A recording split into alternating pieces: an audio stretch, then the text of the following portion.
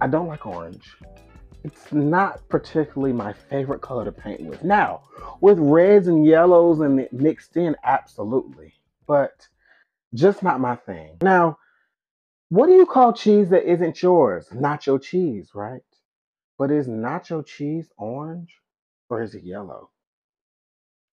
Is quinacridone nickel azo gold really gold or is it orange? The world may never know.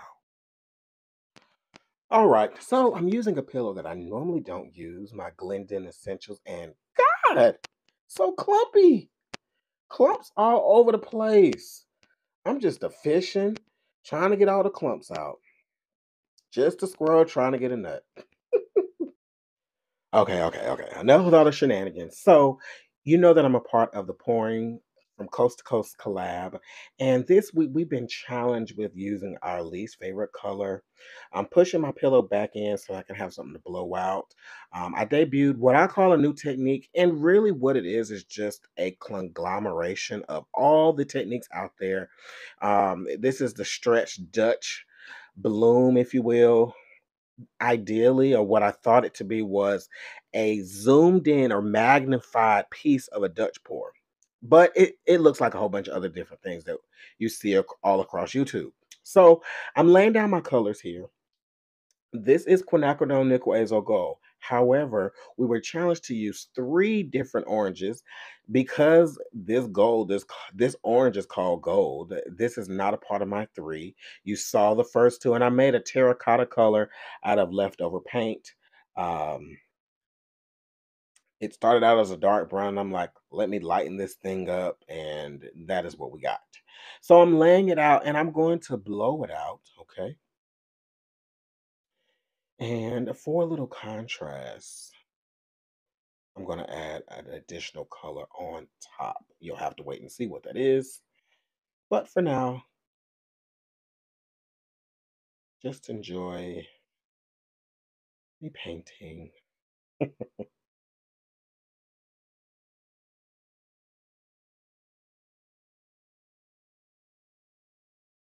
And I'm not putting this on in any ram or reason, ram fashion or reason. Um, but more so to cover and make sure that the pillow doesn't pop up too much when I go to blow this out with my hair dryer. Um, I want to get those really nice, thick, wispy lines. And when we use our cell activator, um, the cells can really just do as they please. Um, it's not like we're trying to get an actual bloom. We're trying to spread that cell activator out as much as possible.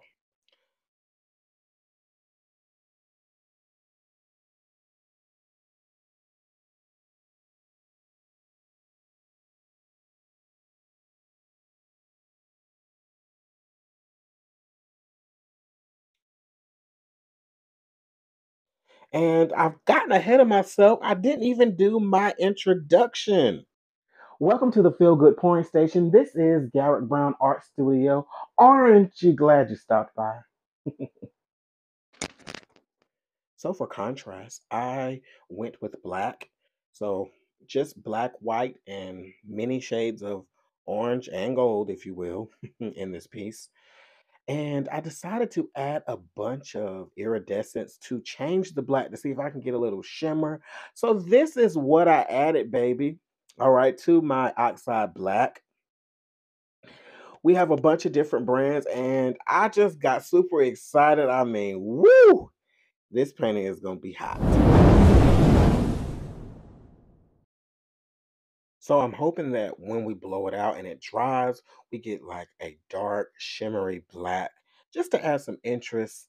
And hopefully, you know, we'll put a little resin on top to give it more razzle dazzle. All right, so I'm going to put my black here down.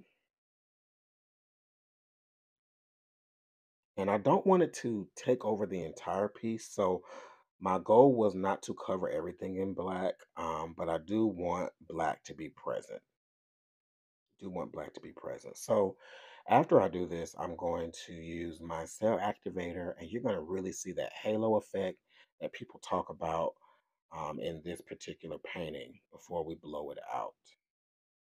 And as I sit here,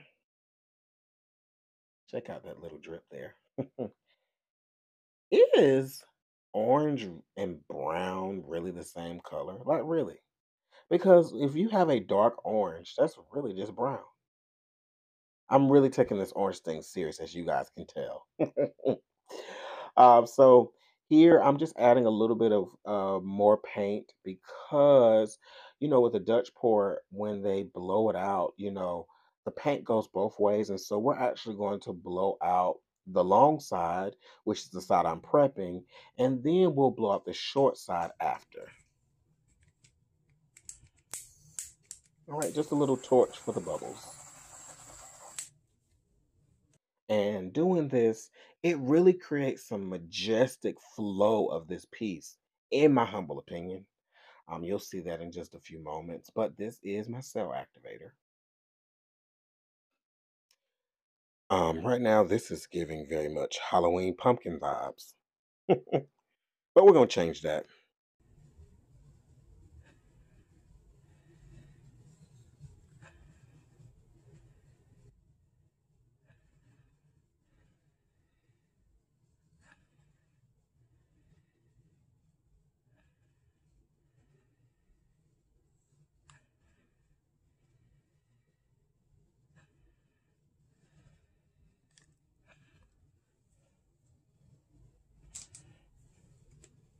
And now I'm just adding color on the other side so that we can blow it out when the time comes. Once again, there's no specific way that I'm layering the colors here, just going with the flow.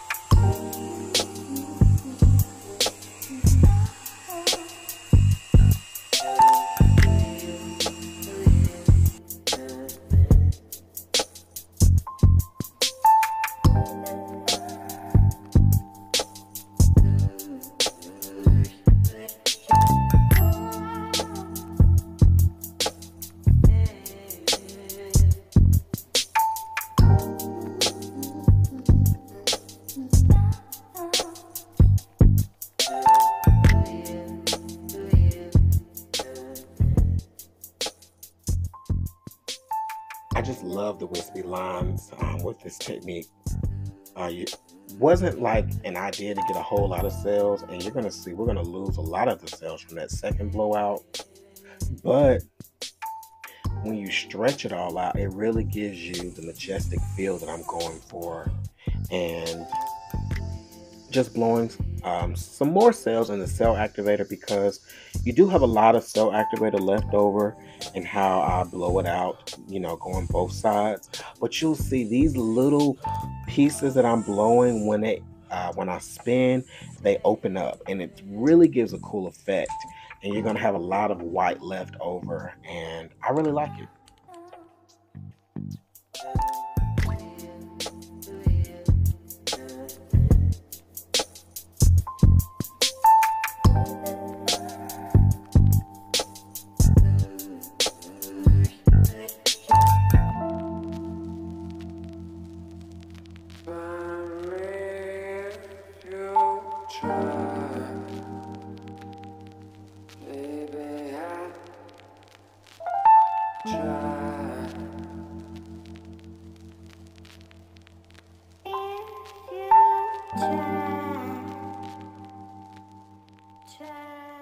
So if you peek at that left corner, I forgot to put some paint there to help it flow. So as we were spinning, that paint was barely moving.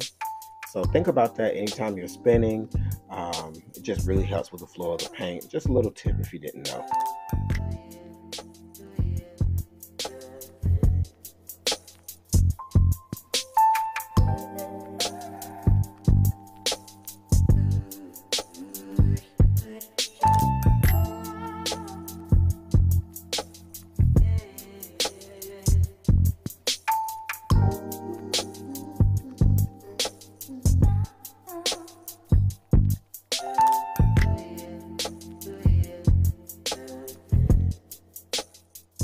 If you like the sales you're seeing, you should check out the video with my new and latest pouring medium. All right, the link is in the description.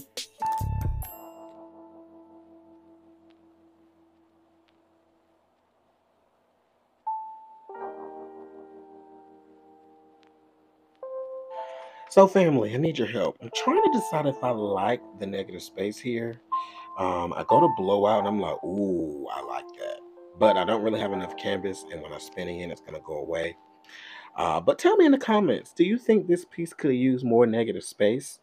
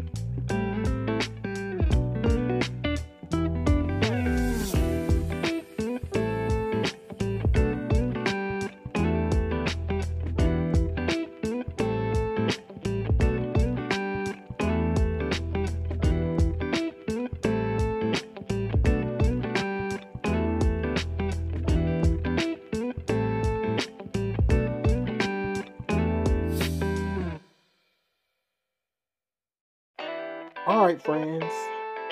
What are you thinking so far? I love how we pulled that black all the way to this canvas and that azo nickel gold on this corner is popping. Okay. Loving these sails. Loving the wispy and just the mixing of the colors. I'm just really, really loving this piece and digging this technique. All right. So I need y'all's opinions in the comment section. Everything we talked about today. Um, I'm feeling a little better about orange. I want to remind you that I have released a new collection on my website, GarrickBrownArtStudio.com, and that I love you to the moon and back. Just give you a couple more views. Of course, we need to scrape our bottoms. Don't forget that. And actually, I really like what happens when I scrape my bottoms. What uh, what shows up. I wish I could blow this up into a bigger painting. Um, but remember, do every single thing with love. Treat your friends, your family, and even your enemies with love. I will see you in another video very soon. Aren't you glad you came?